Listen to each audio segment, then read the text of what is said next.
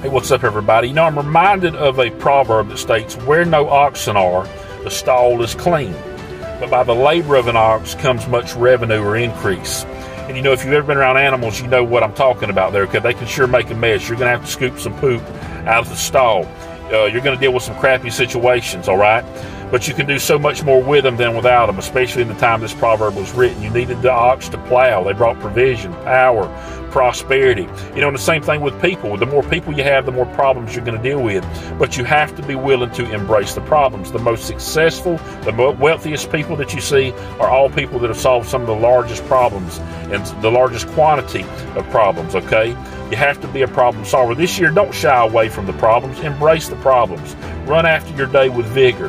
And understand the only way to progress in life is through the problem, okay? If you want to progress, embrace the problem and go out and make this year a great year.